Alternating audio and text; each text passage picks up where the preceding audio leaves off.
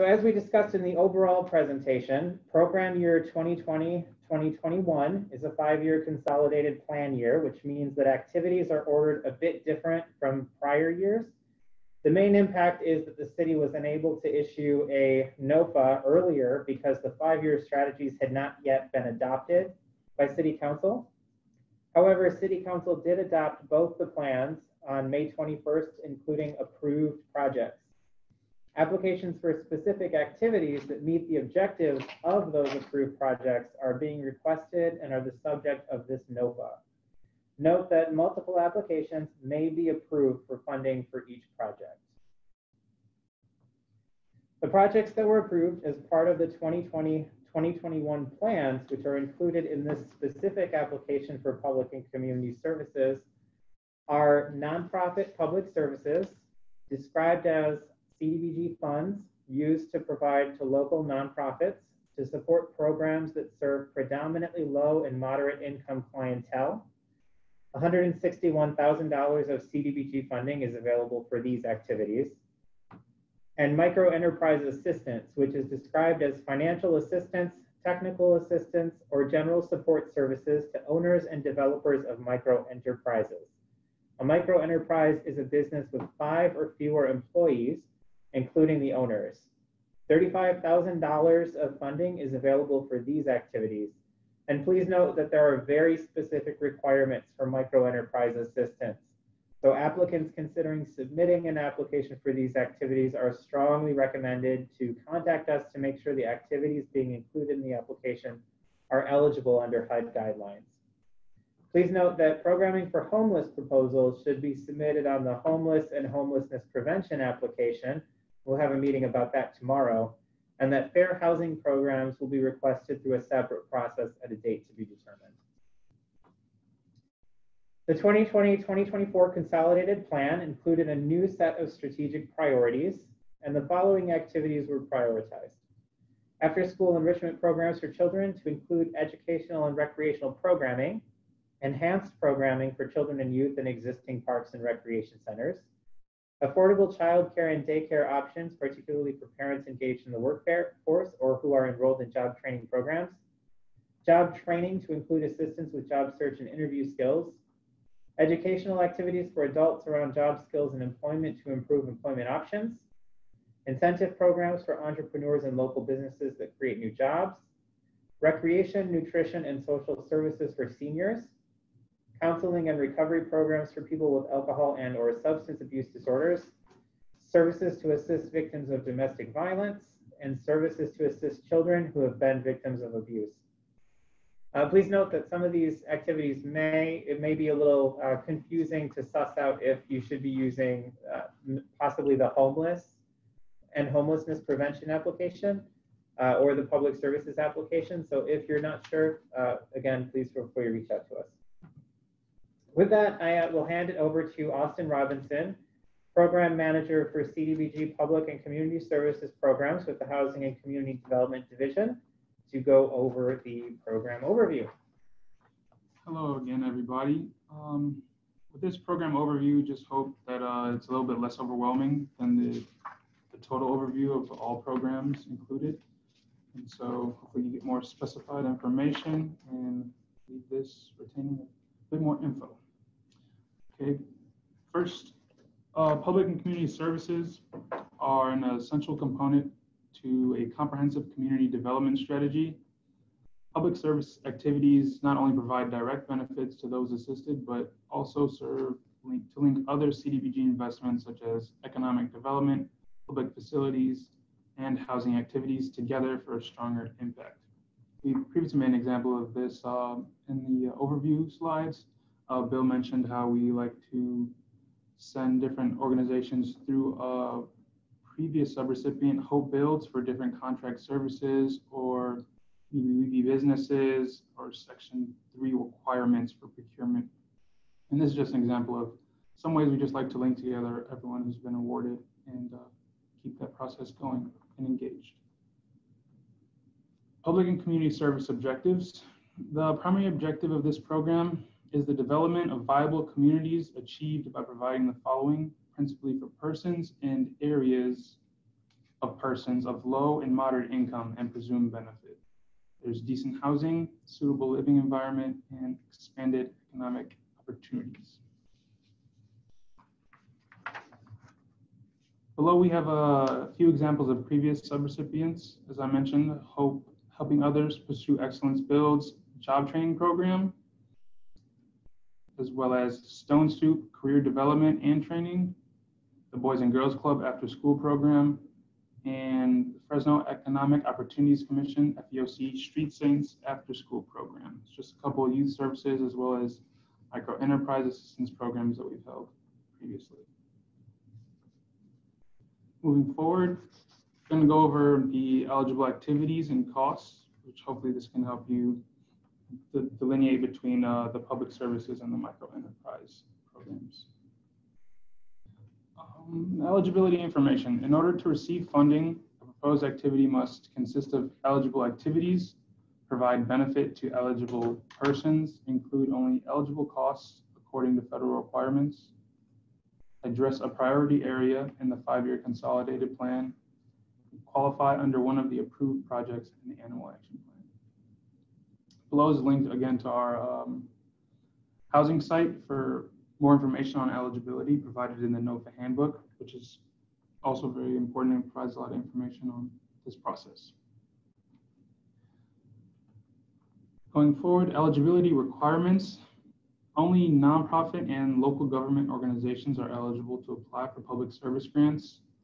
Organizations must be incorporated under state law and have the 501c3 designation, which again is the portion of the U.S. Internal Revenue Code that allows for federal tax exemption of nonprofit organizations, specifically those that are considered public charities, private foundations, or private operating foundations. And applicants must also demonstrate the ability to comply with all Department of Housing, and Urban Development rules and regulations. Uh, next, we just have a list of the eligible activities that classify as public services. It's not limited to this. So we have employment services, which is job training, which goes under micro enterprise, crime prevention and public safety, childcare, health services, substance abuse services, fair housing counseling, education programs, energy conservation services for senior citizens, services for homeless persons, welfare services, down payment assistance, and recreational services.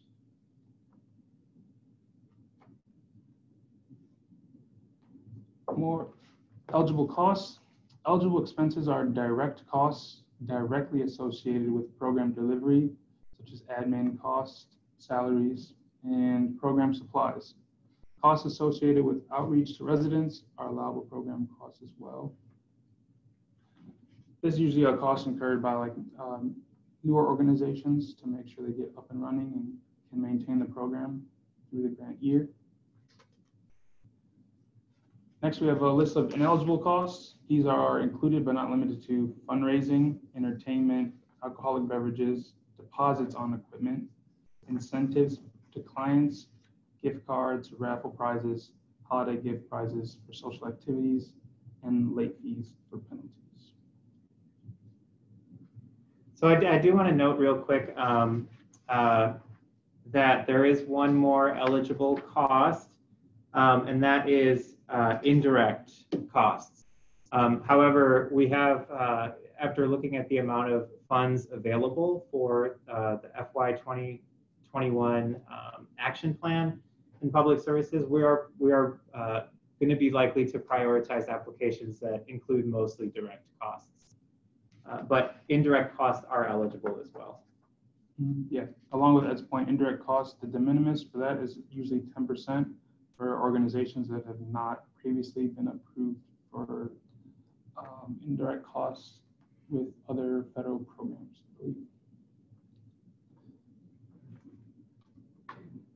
We went over ineligible costs, correct? And uh, next, we have meeting a na- a national objective.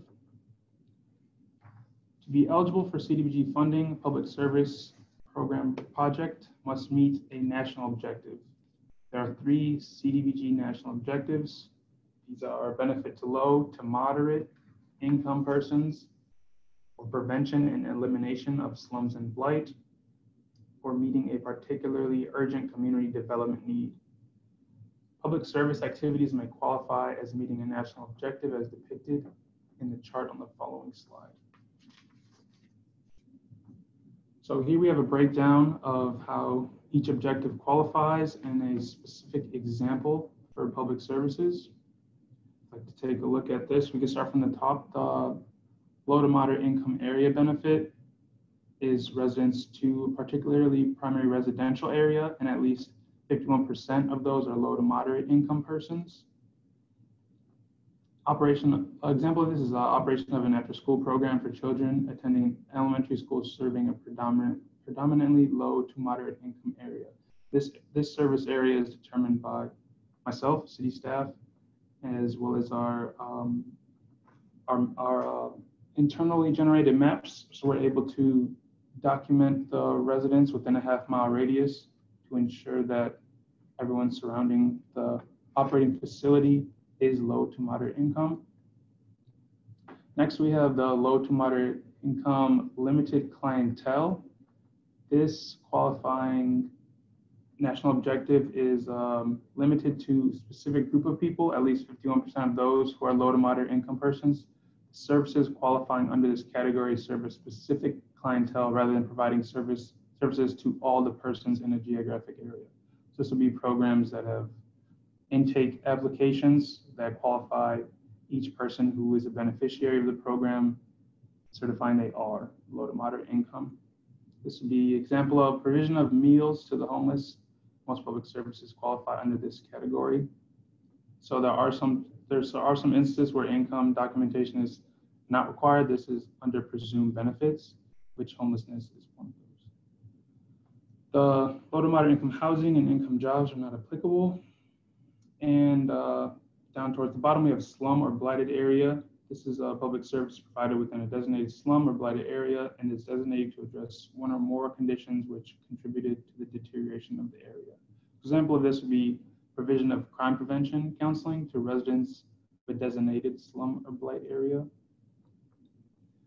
And finally, we have urgent needs.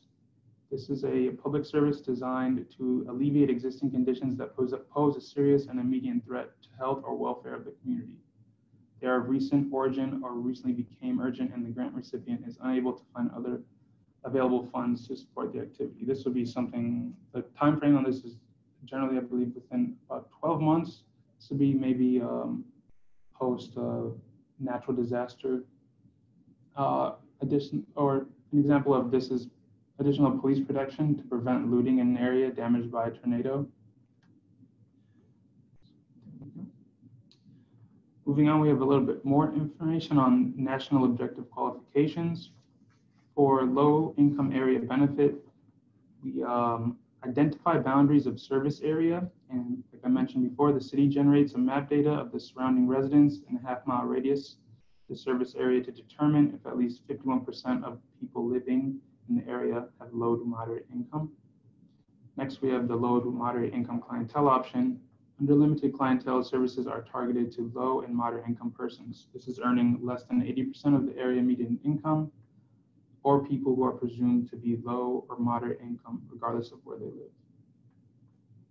Presumed benefit examples are abused children, battered spouses, severely disabled adults, homeless persons, illiterate adults, persons with AIDS, uh, migrant, migrant farm workers.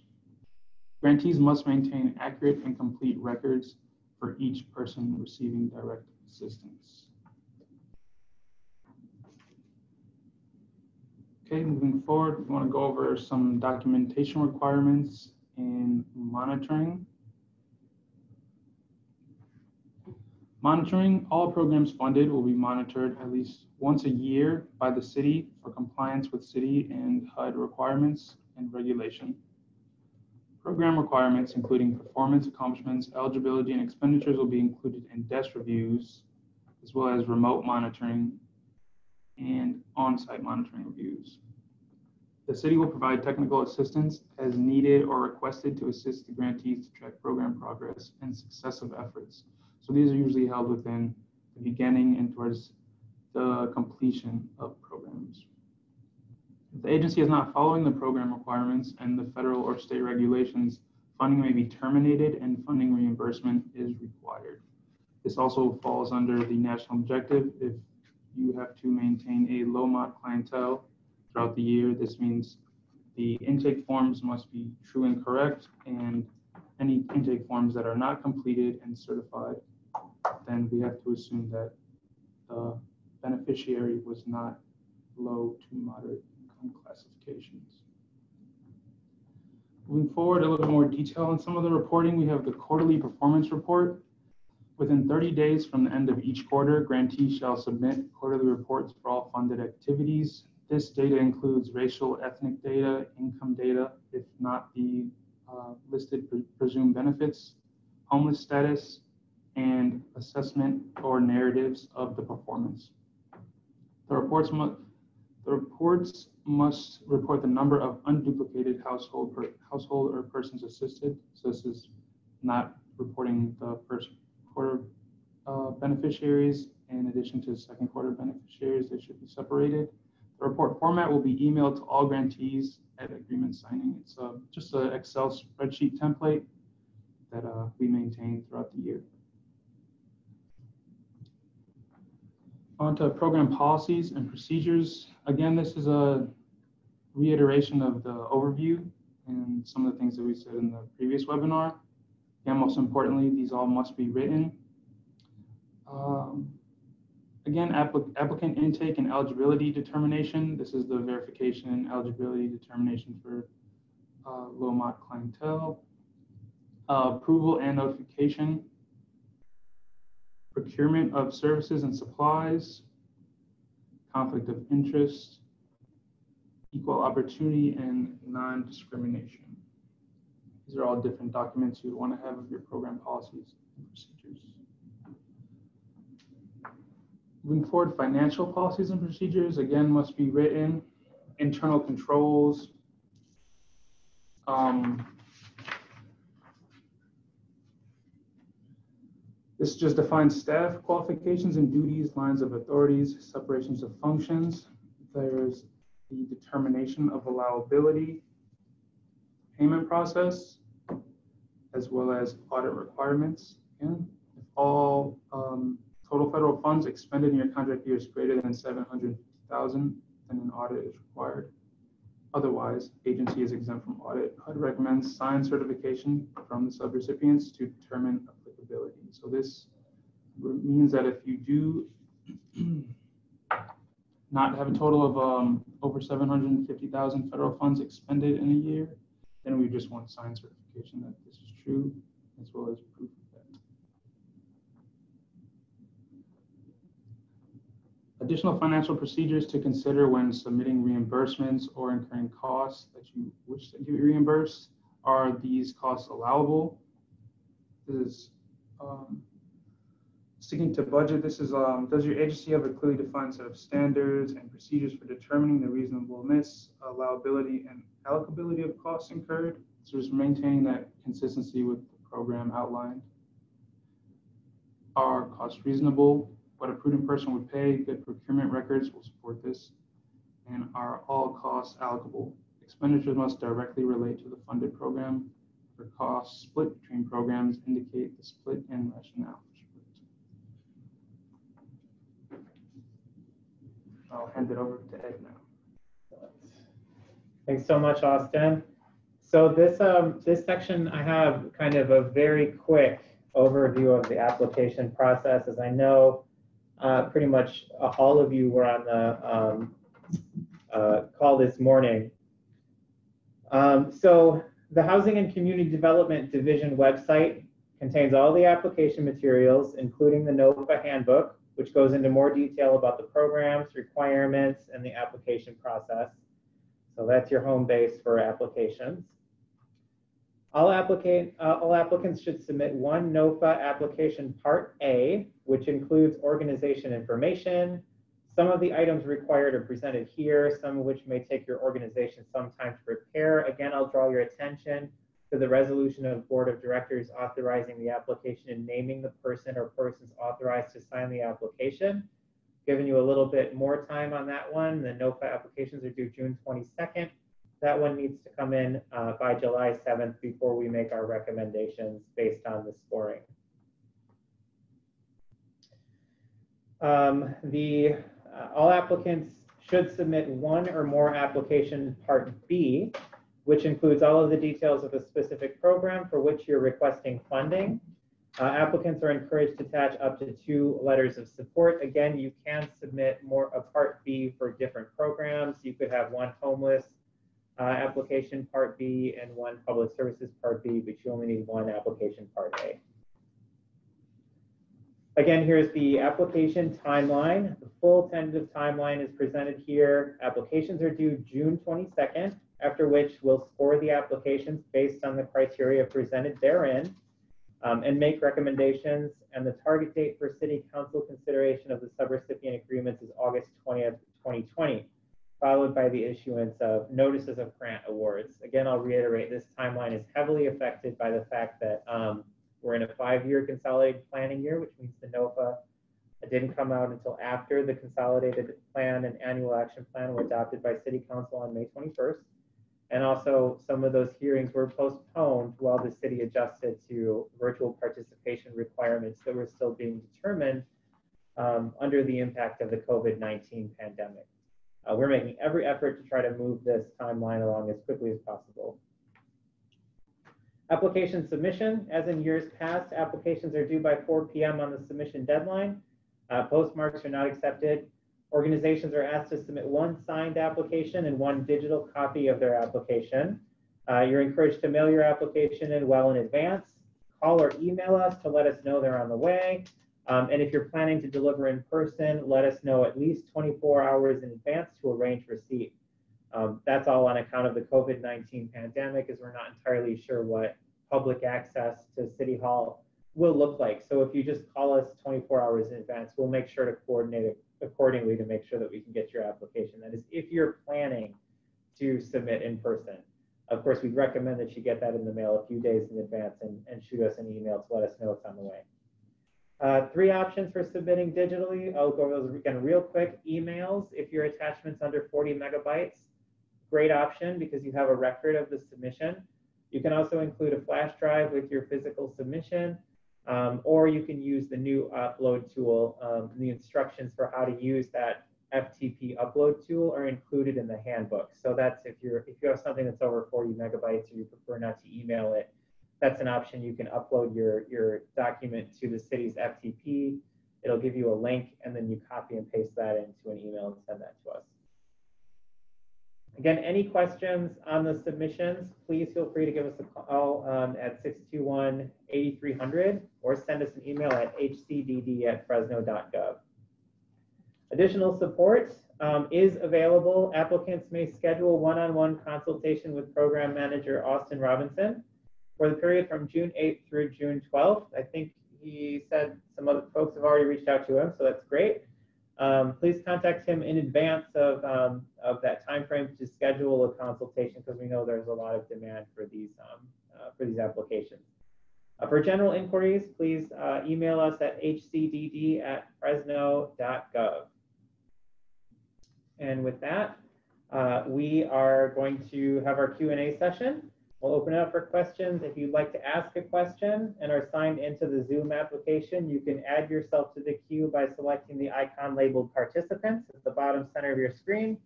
And in the window that opens, click the label raise hand. If you are joined by phone, select star nine. That will add you to the queue. And uh, we will go in turn uh, by order of uh, to speak and unmute you so that you can ask your question. So with that, I'll wait a minute or two to see if we've got any questions coming in. Okay, uh, looks like we have a question from Jan Minami. So I'm going to go ahead and allow you to come off mute. Yes, yeah. thank you. Um, is there a place? Okay, I'm echoing. I don't we'll know. Go ahead and I will mute our, our end and see if that. Okay. Does that help? I guess it does. Yep, you sound good to us. okay. Um, is there a place where we can get samples of policies? Is there anything where we can get more specific on the policies that you um, recommend?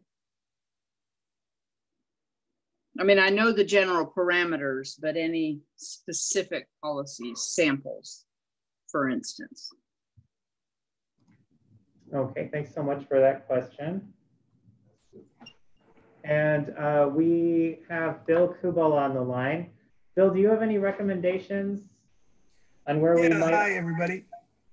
I would say uh, we we if you're looking for an entire set of policies and procedures, I don't know if we would be uh, able to provide that. But if you had one specifically like conflict of interest or uh, procurement, for example, we could definitely give you an example and give you some some key points that we would like to see.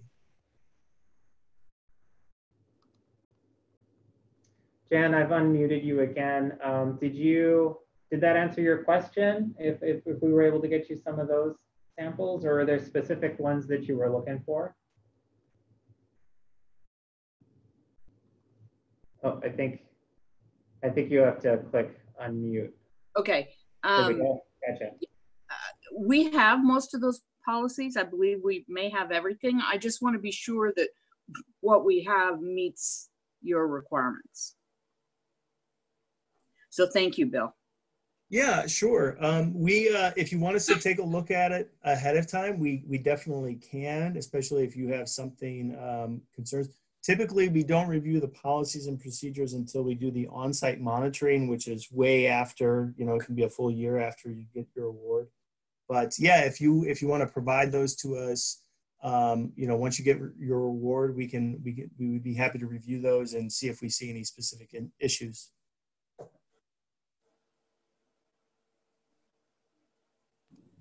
Great. Does that answer Yep. your question? Yes, it does. Thank you. Great, thank you. All right, it looks like we have um, another question from uh, Diane Carbre. So I'm going to go ahead and allow you the opportunity to unmute yourself. I think you just have to click unmute, should hopefully pop up. There we go. Okay, thank you. Yes, I was looking at the total funding pool and it's um, 161,000. Um, And I put it in the chat box too. Is there any priority over after-school capital projects? What, what is, I mean, that's not a lot of money for the whole CDBG. And so I'm trying to figure out how to best pose a grant ask.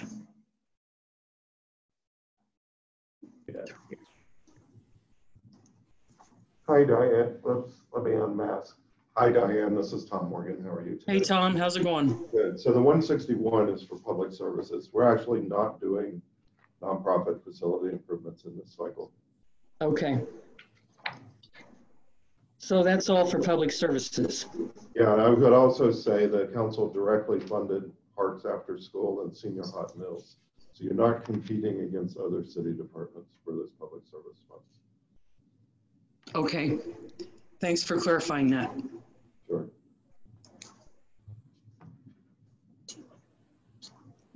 All right, does that answer your question, Diane? Yes. Thank you. So I will uh, hold for a minute here and see if anybody else has any questions.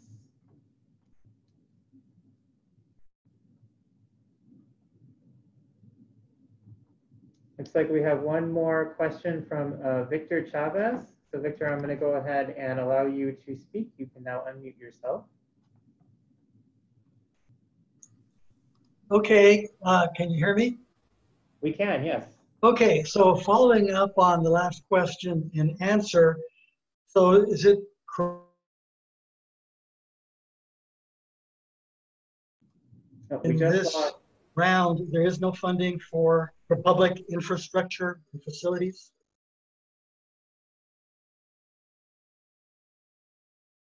funding for, excuse me, Victor, this is Tom Morgan again. The funding for public infrastructure has been committed to city projects. So there is no nonprofit facility improvements. Oh. uh, Funding being offered through this action plan. or through these Be clear on that. Thank you.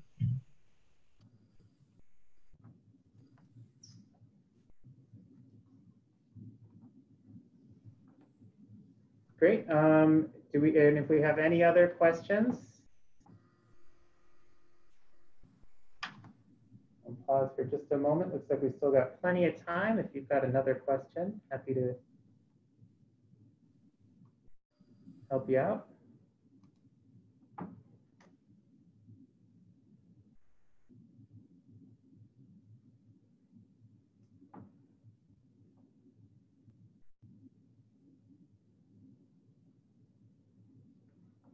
All right, so I don't see any further questions.